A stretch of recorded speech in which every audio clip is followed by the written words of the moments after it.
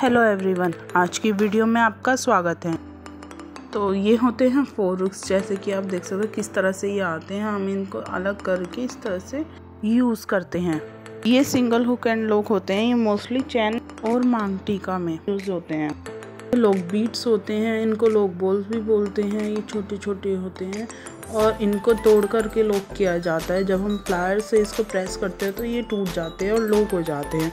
ये mostly jewellery में necklace वगैरह बनाने में यूज़ होते हैं। ये एसोक्स होते हैं। ये एस की तरह दिखते हैं, इसलिए इनको एसोक्स बोला जाता है। ये लॉबस्टर हुक्स होते हैं।